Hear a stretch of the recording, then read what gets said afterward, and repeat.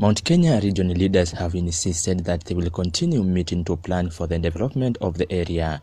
The leaders said they will not be intimidated by the Deputy President William Ruto's false allegations that there's a plot to assassinate him and in that the allegations are made to incite other Kenyans against Kenyans from Mount Kenya region. This comes after the Deputy President reported to the Directorate of Criminal Investigation that some cabinet secretaries from the Mount Kenya region have been meeting to plan on how to kill him. So this press statement is issued on 24th of June 2019. Its headlined assassination alleg- allegations against Mount Kenya cabinet secretaries are meant to incite other Kenyans against Kenyans from Mount Kenya region. I will read. Today we woke up to the news that the four cabinet secretaries who come from Mount Kenya region, this is Sicily Kariuki, Joe Mucheru, James Macharia and Peter Munya were at the DCI recording statements over allegations that they are holding or they've been holding meetings to plan how to assassinate the Deputy President William Ruto. Kenyans need to know that cabinet secretaries from all over the country meet with leaders from their regions to discuss how to best how best to fast track development projects from their regions.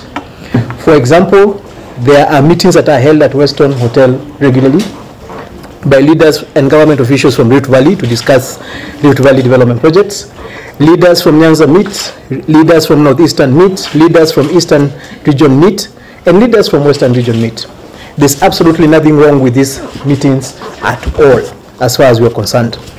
This is the reason why Kenyans insist on regional balance at cabinet level, so that each region has, a, has people who understand the dynamics of where they come from at the policy making level of government. Cabinet secretaries also meet internally and across regions to discuss the same issue. However, there is this narrative that when leaders from Mount Kenya region meet, they must be planning to do something wrong. Last year, when Mount Kenya leaders met in Naivasha, it caused an uproar across the country.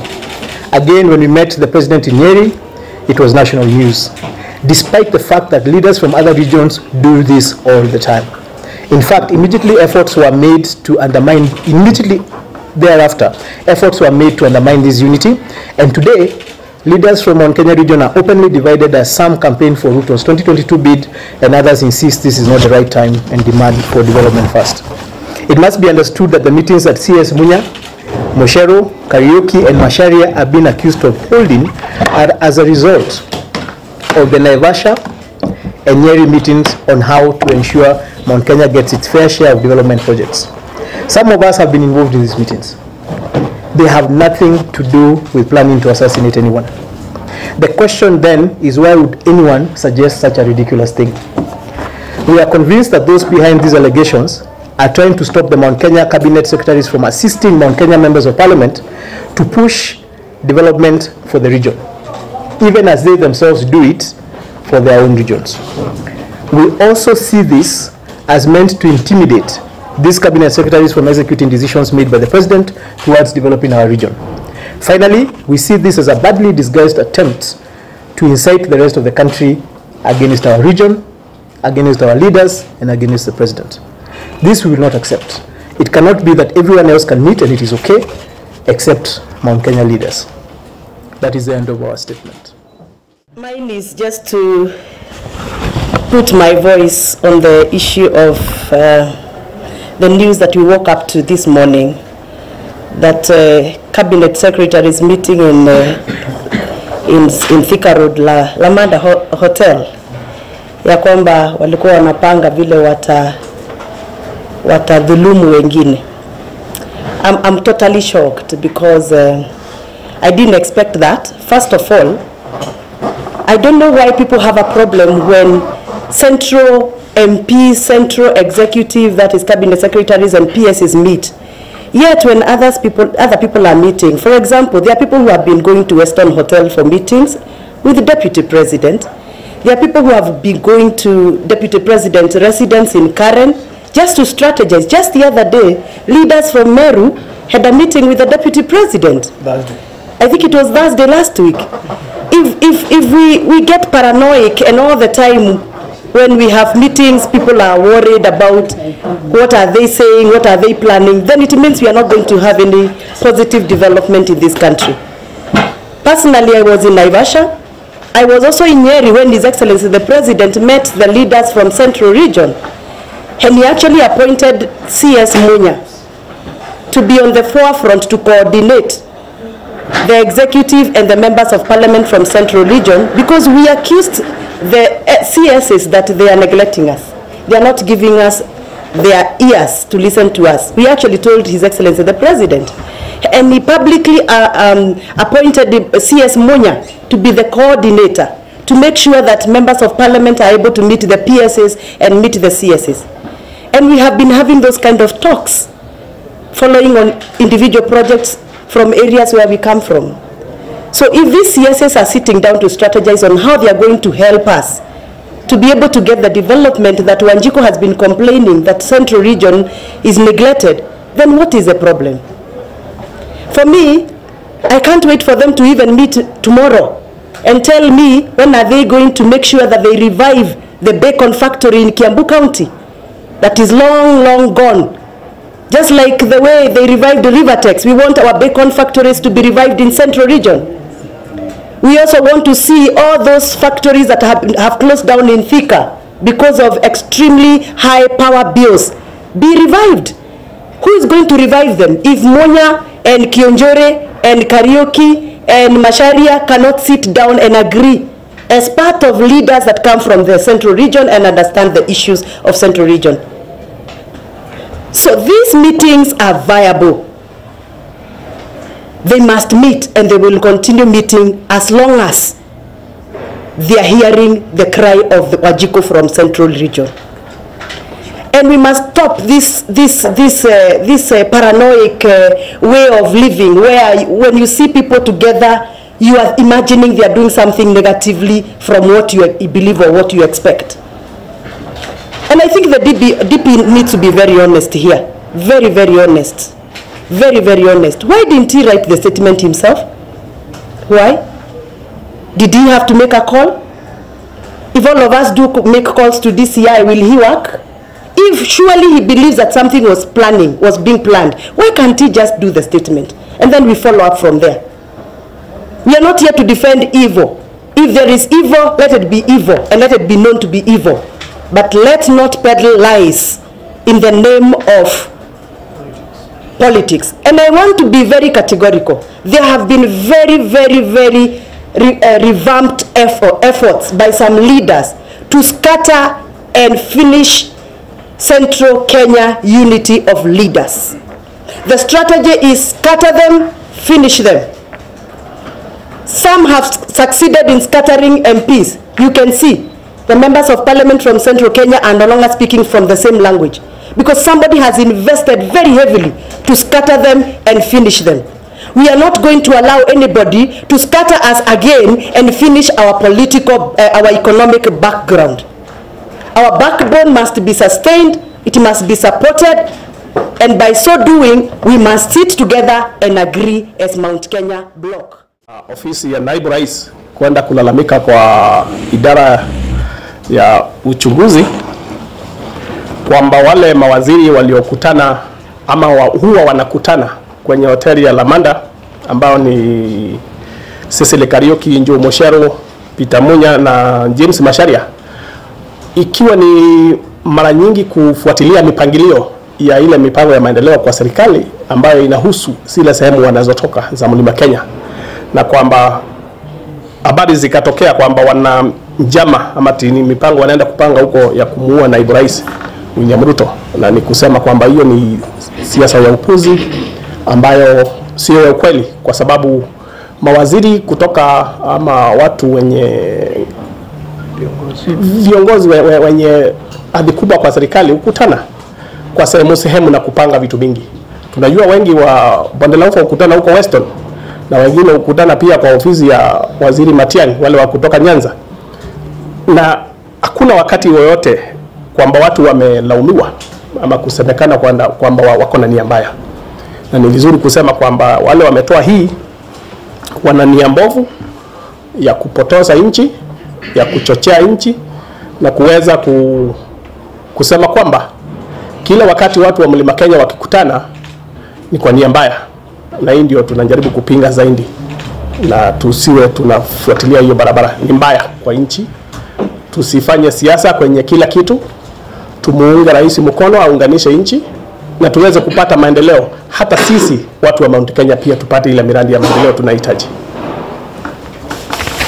Of politicians being impatient and not doing the right thing at the right time because this is the time not for factions in Jubilee government or in Jubilee party.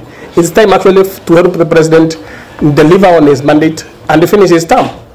And whoever wants to contest the elections for whatever time the elections will be, that's a different arrangement. But about the Jubilee, uh, it's a different story. And to just add, you know, the fact every party has rebels. hold, be, be it at the MP level, or even at the presidency or deputy presidency level. And I think it's a, it's, it beholds us that we don't read politics in everything that we do. It's just the other day we had an election. We were given a mandate, we had a manifesto for which we were to uh, deliver to Kenyans. But unfortunately for us, we have become too political and reading politics in everything that happens. And I always say, every Kenyans, every Kenyan, so many of you, including some of you that are there, are entitled to hold a position of leadership. You have the qualification to be an MP, to be a president, to be anything. But you've given us the privilege to serve you. May we be found faithful to the people that gave us jobs and not really sensationalize everything that happens around us. We want to create politics and breed politics into it. I was completely taken aback by this news because I was part of the people that went to Naivasha as a member of parliament from central Kenya. And we had a very uh, good discussion around the table on the things that would want government to do within the available resources of the, of the, of the government. And for me to then read that it has turned out to be a plan for something like this, I find it completely, you know, uh, shocking. And I think we need to reduce the politics. We need to reduce the political temperatures. We need to realize we've just been two years since the election. In fact, two years will come to an end in August the 8th. We are not yet even two years, yet we have just politicized everything, everything that we want to do.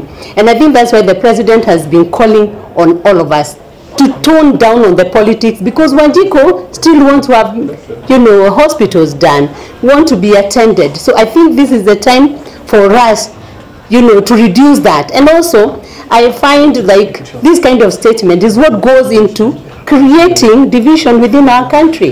This is the time that the president has called us to be unified, to have unity. So when we make such a statement, it can only create divisions. And I, I think this is the wrong time for such a statement to come out. Unfortunate.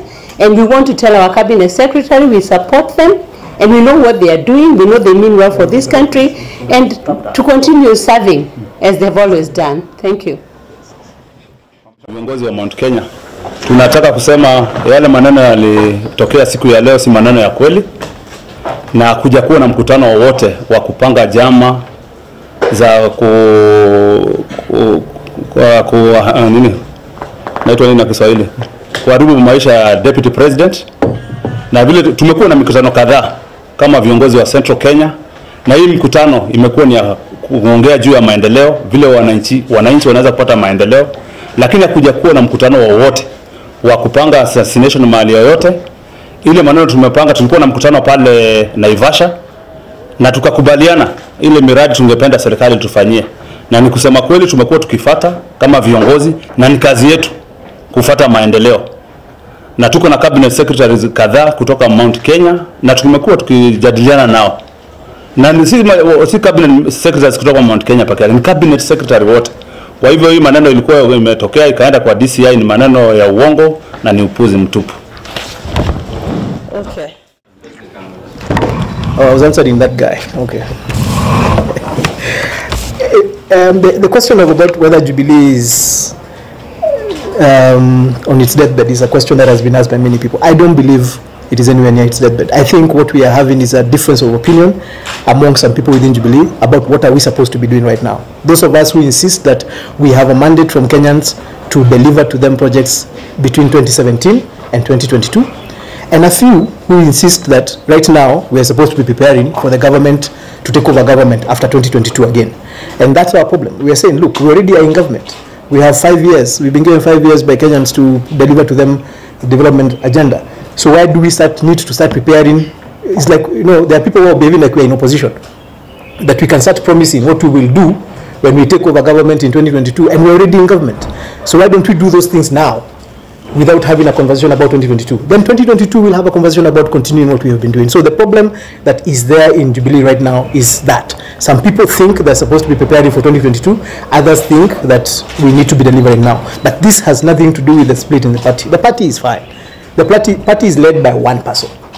The party is led by Uhuru Muigai Kenyatta, who is not just a party leader of the party, but is also the president of the Republic of Kenya. And he's been very clear on what he wants done. He wants people to stop premature campaigns. He wants people to support his fight against corruption. He wants people to support the handshake. If anyone is not doing those three things, they are the ones who are outside the party. The party is not split. Ni mtu amejitoa kwa chama akaenda nje. Uh, the CS Munya saying that the information they have is that the DP is the one who called the DCI. I think the this this is going to have different reactions. I, I think in Mount Kenya, being portrayed as if we are meeting because we own these CSs. These are our CSs. When you go after the four CSs who come from Mount Kenya, you're going after leaders who come from our region. So we own these CSs. We are not going to stand and say that those CSs are doing the wrong thing, especially since we know the meetings they have been having are about development agendas for our region. So this is going to have a negative effect in the region because it looks like you are trying to stop our leaders from having meetings about the region unless you are there because that's the only way it looks like. Because when they meet, he hosts. I, I know the DP hosts governors. I know he hosts CSs. I know he hosts le- leaders from the region. Last week he had leaders from Meru. There's never a problem. But when our leaders meet outside the deputy president, then it looks like that is now when somebody has a problem. So what is the problem? You don't want us to meet by ourselves. So we will, this conversation going to the ground is going to be different because now it looks like you're trying to micromanage us and micromanage our development. Last week we saw uh, Rift Valley getting the River Rivatex back. That was lobbying. Member leaders from Rift Valley sat sat with the with government officials from uh, in, from the region from the region. Of course, first to have that conversation. Then as a country, they were able to deliver a project like Rivatex. Us, anytime we want to sit and do something like that, watu wanasema tunataka kuua watu. So now, what kind of politics is that? I'd like to have. We had let's let's take the let's follow this thing. We had a meeting in Naivasha. All members of parliament from Mount Kenya region. We then went to Nyeri and met the president. The president actually tasked Munya to be the contact person in government to help us because people are complaining we are not able to access government. So meetings happened consequently after that.